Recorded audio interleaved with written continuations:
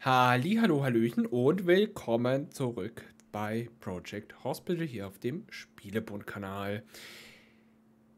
Danke schon mal wieder fürs Einschalten.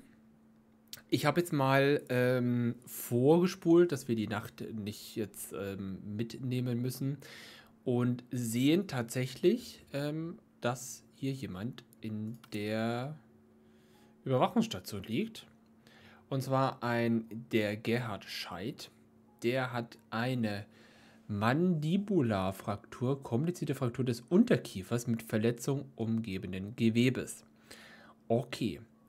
Wir sehen tatsächlich auch, dass benötigt wird eine Frakturoperation am Kopf. Musste lange warten, ist gegangen, wartet auf das OP-Team. Ja, natürlich operieren wir nachts nicht. Deswegen liegt er jetzt auf der Überwachungsstation, weil er natürlich bis, ähm, ja, das lassen wir jetzt mal den Arzt entscheiden.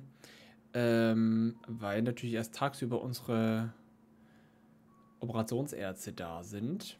Und wenn wir den fertig behandelt haben, kriegen wir 3780 Dollar. Was ja schon mal eigentlich ganz nice ist. Und ich muss wieder den Timer anstellen. Habe ich wieder vergessen. Genau. Ähm, ich, äh, tatsächlich bin ich mal gespannt, wann der jetzt operiert werden kann. Ich spule mal ein bisschen vor, weil es interessiert mich jetzt. Oh, er geht auf jeden Fall. Äh, also auf Klo muss er sowieso. Ich weiß tatsächlich nicht, wo die Operateure sind. Aber ich glaube, das waren doch zwei, die ähm, ja, einen langen Anfahrtsweg haben. Ich glaube, da kommen sie auch schon. Deswegen kommen die auch mal ein bisschen später. Okay, jetzt sind sie da. Oh, das ist aber jetzt jemand anders hier. Eine Knieluxation. Äh, sein aber äh, okay. Also der, der wird jetzt auch rumgeschnippelt hier. Hier sieht man's. Oder auch nicht. Jetzt geht's los. Sieht man nichts. Hier sieht man, oh, hier hat schon, hier ist schon Blut gespritzt.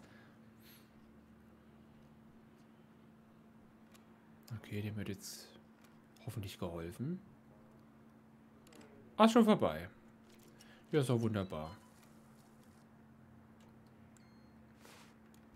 Okay. So, jetzt waschen sie sich natürlich nochmal die Hände. Schön. So, die gehen jetzt alle weg. Dann kommt sie hier. Ah, mit der Liege. So, wo wird jetzt hinge... Okay, wo wird es... Innere Medizin nicht einsatzbereit? Ach, kann nicht aufgenommen werden. Ja, wir haben keine Aufnahme in der inneren Medizin. Und da kommt er auf die Normalstation. Oh, hier, liegt, oh, hier liegen schon überall welche. Auch Knieluxation. Hier ist was los. Okay, und was hat sie? Klavicula-Schaftfraktur. Ja. Auch operiert, muss auch operiert werden. Okay, das war's aber erstmal. Und hier drüben natürlich. Er hier, er wird jetzt mit einem mit Rollstuhl abgeholt sogar. Ah ja, okay. Ja, so kann es auch laufen. So, da kommen sie wieder alle. Cool, das funktioniert. Was ist hier los? Oh Gott, was ist das denn? Hoch ansteckend. Ja, schickt den ja ins andere Krankenhaus. Egal, was es ist. Ach nee, Moment, das ist ja Code Blau ist das. Ja, wegschicken.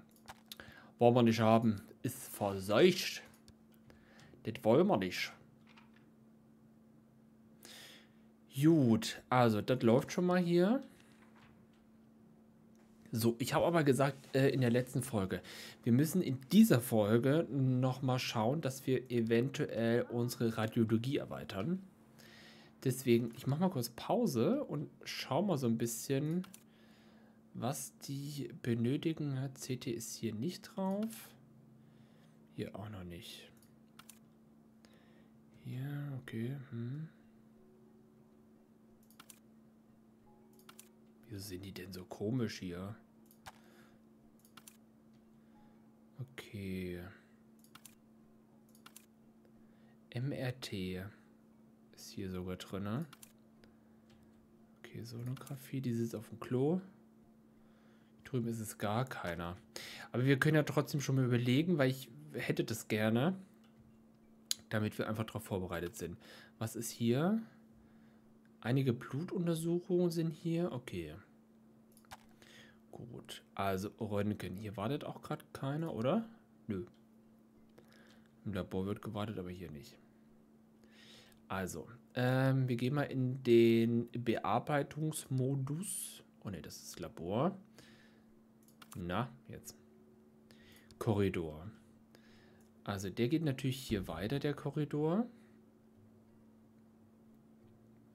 Ach, hier haben wir schon das CT eingedingst.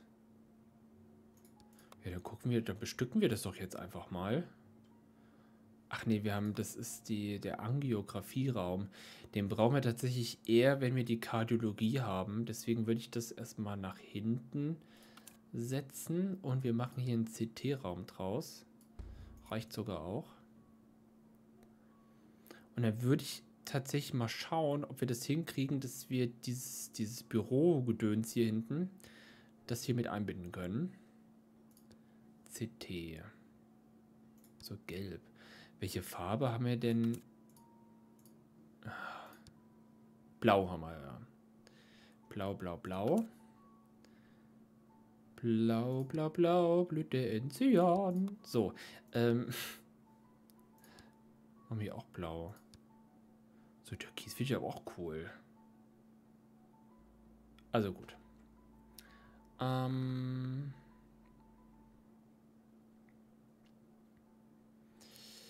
Das ist natürlich nicht viel Platz, ne?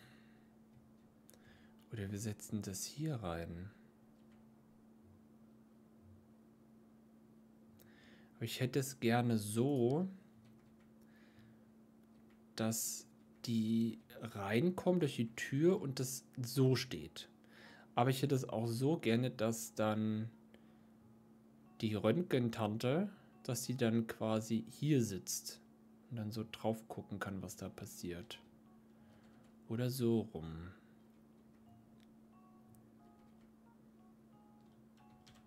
Hm. Können natürlich das hier erweitern, dann haben wir ein bisschen größeren Raum, ne? Das machen wir jetzt auch. Das machen wir doch jetzt auch einfach mal glatt. Da kenne ich doch nichts. So, das kommt raus, das auch. Kopieren wir mal das hier. Und dann kopieren wir das hier. Und dann kopieren wir nochmal das hier.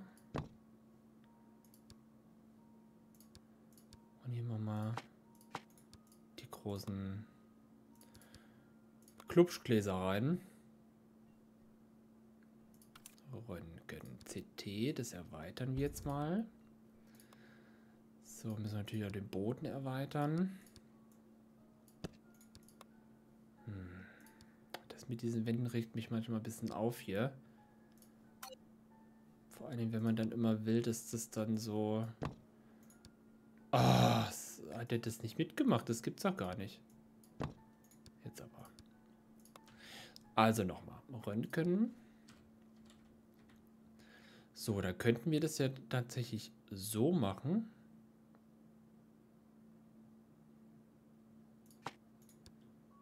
Und schon wieder sind wir Minus.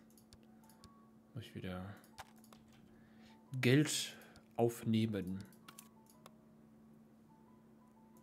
So, Tür kommt natürlich hier dieses Röntgen, diese Röntgentür rein. Und zwar so. Dann brauchen wir die Wand.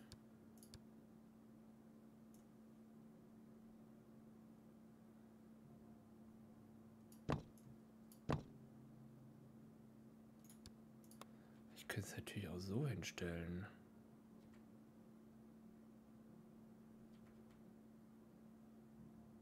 Nee, es bleibt schon mal so. Hm, ich muss hier nur die Wände mal rausmachen. Jetzt haben wir dann nur das Problem, dass die hier gerade, ich sehe es an, der grünen Markierung, die benutzt es gerade. Muss das mal hier so woanders hinschieben schon mal. Kommt dahin. Der Schrank kommt auch dahin.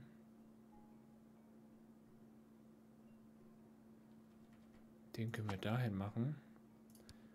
Und dann... Wir können es ja auch so lassen. Das kann ja ruhig, äh, da kann ja ruhig so eine kleine Wand dabei sein. Einen Drucker brauchen die ja nicht. Dann machen wir nur so einen Einzeltisch rein. Erstmal. Bis wir ein bisschen mehr Platz haben. So, dann eine Tür. Da hat sie auch, haben wir auch so eine. Und dann setzen wir wieder diese Glasdinger hin. Damit die auch gut alles sieht da von ihrer Kanzel da. Auch hier brauchen wir wieder hier diese, diese Teile. Die können wir da hinsetzen und ein Schrank. Ja, für, für Material und so, ne, wahrscheinlich. Dann machen wir mal so, so einen Geräteschrank. Grau, ja. Und in hängend.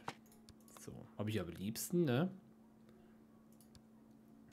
So, dann haben wir das da hinten in der Ecke. Das können wir eigentlich auch jetzt hier hinsetzen, ne? So hinsetzen. Und die Tür kommt weg. Nein, die Tür kommt einfach hier hin. Weil hier von dem Ding, hier sieht man der blaue Pfeil. Ich meine, der blaue Pfeil bedeutet, dass von da quasi das, die Liege dann rankommt und dann passt das. Dann kommen die hier rein und direkt ran auf die Pritsche.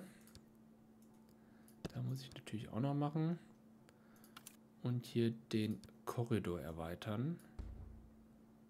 Ja.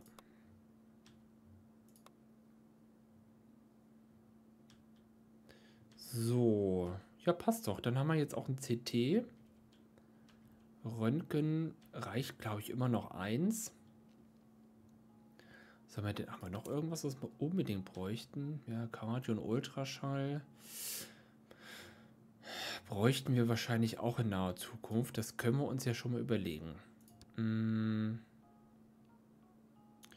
Hier haben wir noch einen zweiten Röntgenraum. Wir können das ja schon mal hier so ein bisschen einzeichnen.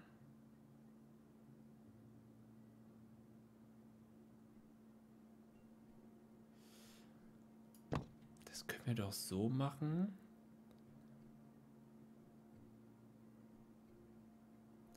Und hier wieder so ein Zweiergang.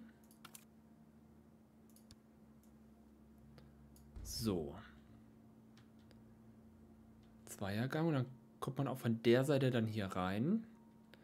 Dann ist das genau so halt nur spiegelverkehrt, in der Hoffnung, dass das auch so funktioniert. Und dann können wir hier oben die Wand, zumindest hier oben ein einreisen. Und dann haben wir hier so ein, so ein Gemeinschaftsbüro. Das finde ich eigentlich, eigentlich finde ich das ganz cool. Ja, hier kann ich das Board nicht benutzen, ist mir aber egal. So. Und dann könnte man, opala. Genau, dann haben die Dreier, die sind hier so zusammen. Und dann passt das. Dann stellen wir schon mal jemanden jetzt ein für das CT. Vielleicht jemand, der nicht so teuer ist. So wie immer halt, ne? Ähm, ja, die sind alle ungefähr identisch. Außer sie hier. Sie hat 31, aber ich finde die Swantje. Die Swantje, das hat jetzt auch einen langen Arbeitsweg. Egal, die stellen wir jetzt ein. Und da stellen wir auch jemand für nachts ein. Denn ein CT muss auch nachts, wir müssen eine funktionierende, no funktionierende Notaufnahme, da brauchen wir auch nachts jemanden. Hm, was hat der denn? Frühaufsteher. Früher Arbeit deutlich effizienter am Tag. Ach so, na dann können wir den nicht einstellen. Hm, wir nehmen einfach hier den Jens. Den würde ich jetzt nehmen. Und wir können ja schon mal hier einzeichnen, wie wir es hier so weiter haben wollen würden. Jetzt ist natürlich die Frage, also das reicht ja auch nicht. Das heißt, wir gehen hier so im L nach oben. Das heißt, wir können hier schon mal kein Röntgen weiter aufstellen. Aber wir könnten hier oben noch weitermachen. Also angenommen MRT. Gut, in der Hoffnung, dass wir das Labor natürlich nicht erweitern müssen, ne?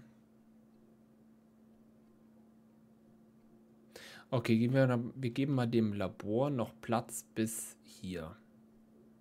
Bis hier so. Das heißt, ein MRT könnte hier hin. Dann diese Diagnostik. Also wenn wir hier so einen Gang wieder haben. Ich gehe davon aus, dass wir hier so einen Gang weitermachen. Ich mache das jetzt einfach mal. Korridor. So, dann haben wir hier die Diagnostik. Ist aber der Warteraum schon ganz schön weit weg, ne? Aber ich hoffe, dass das klappt.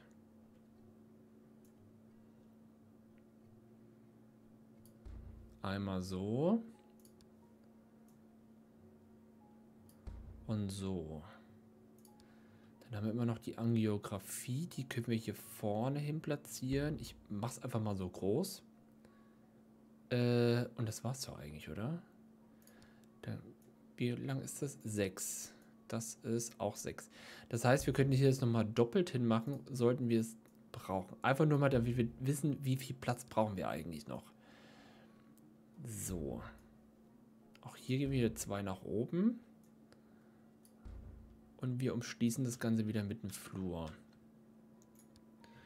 So, dann gehe ich wieder hier in die Notaufnahme, weil die ist schon voll. Da liegen drei Leute drin. So, er hat eine Fußprellung. Warum kommt er nicht in die, in die, in die Orthopädie? Das können wir doch hier einstellen. Abteilung wählen. Ja. Und Chaka. So, sie, ja, innere Station wahrscheinlich, haben wir nicht. Da haben wir Bluttest noch gemacht. Und hier sieht es wahrscheinlich ähnlich aus. Stichwunde im Brustbereich. Gürtelrose, oh das ist ja alles woppt. Gut, alles, was hier blinkt, läuft noch. Das heißt, er ist schon raus. Oh, ich bin auch raus hier. Äh, er ist raus. Aber wo ist er denn jetzt hin? Ach, das ist er hier. Dann wird... Wer ist denn er hier? Der Heiko. Der Heiko wird wahrscheinlich gleich abgeholt. Wir beobachten das jetzt mal. Und siehe da, unser erster Patient für das CT. So, der Heiko. Der Heiko geht weg. Der Heiko. Geht er denn hin? Der setzt sich hin wieder. Aber den habe ich doch jetzt orthopädisch getauft. Oder war das gar nicht der? Leute, ich habe keine Ahnung. Gut, wir stoppen wieder hier das Ganze. Ähm, wir brauchen mehr Überwachung. Das heißt, so wie das hier übrigens auch angeordnet ist, gefällt es mir überhaupt nicht.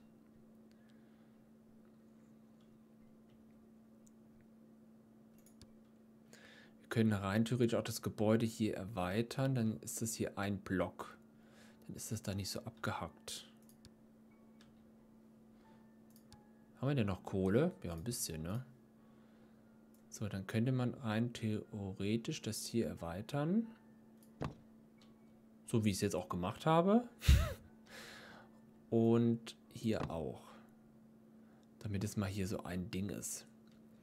Und dann kann man rein theoretisch das hier, hier komplett, ich mache es jetzt nicht.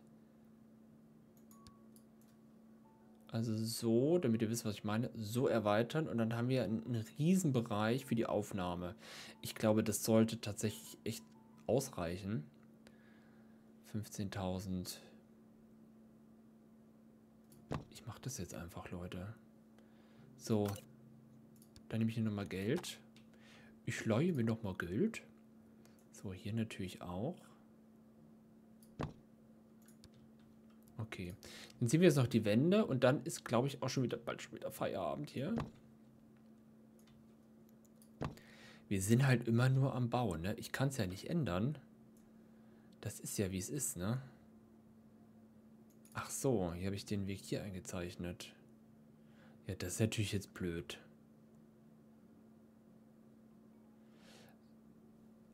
Oder kann ich das gar nicht hier machen? Doch, hier geht. Den Streifen nehme ich jetzt noch mit. Warum geht das nicht? Das geht nicht, da ist Map-Ende. Okay, gut. Dann müssen wir, dann müssen wir das hier oben noch ein bisschen neu einzeichnen. Das sollte aber jetzt nicht das Problem sein, ne? Gut. Dann kommt das natürlich weg. Genau. Welche Wände habe ich denn hier genommen? Hier.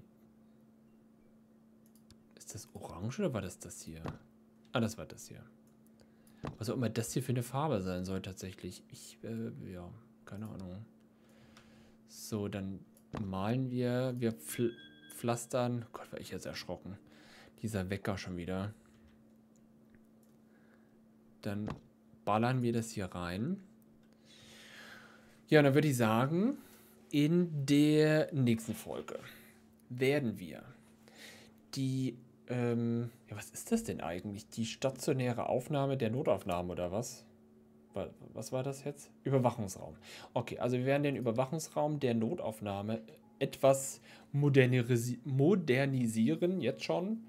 Erst errichtet und schon müssen wir es modernisieren. Ja, ähm, damit wir einfach in, ähm, in Zukunft ein bisschen besser aufgestellt sind, denn wir müssen nicht nur die stationäre Intensivstation bauen, sondern wir haben auch die Aufgabe, zwei Rettungswagen, Wägen zu kaufen, die übrigens auch nicht sehr günstig sind. Und die bringen uns regelmäßig äh, wirklich Notpatienten rein. Und äh, für die brauchen wir einfach Platz. Ja, so ist es einfach. Wir werden wahrscheinlich nicht nur auf der orthopädischen Aufnahme ähm, sitzen bleiben, sondern wir müssen zeitnah auch, weil wir auch hier die, die, ähm, die, ähm, ja, die Aufnahme oder die, die, die Arztnotaufnahme, keine Ahnung, für eine innere Medizin haben, müssen wir die natürlich auch mit reinpacken. Ansonsten müssen wir die natürlich immer wegschicken. Das ist jetzt Orthopädie und ihr seht schon, unten drunter habe ich äh, den Bereich jetzt dazu gebastelt. Da könnte man natürlich überlegen, ob man das doch wieder umbaut, ja, oder hier Intensivstation hin, hinpackt. Das wäre natürlich auch eine Möglichkeit noch, ja. Und die innere Medizin würde ich tatsächlich einen Stockwerk höher setzen. Und die Zimmer würde ich eins zu eins hier oben rein kopieren und ähm, diesen Trakt dann so machen wie hier unten. Ja, das machen wir dann wieder im Schnelldurchlauf sozusagen. Da ist schon wieder jemand operiert worden. Ach, das ist der Gerhard. Ja, er ist äh, hier oben gelandet und ist jetzt scheinbar schon operiert worden. Ja. Der kommt jetzt in die Überwachungsstation. Ja. Ja, dann danke ich euch fürs Zuschauen. Ähm, freue mich, wenn ihr das nächste Mal wieder einschalten würdet. Und dann sage ich ich wünsche euch noch einen wunderschönen guten Tag, morgen Abend, wie auch immer. Ne? Ihr wisst Bescheid. Und dann bis zum nächsten Mal bei Project Hospital. Macht's gut. Ciao.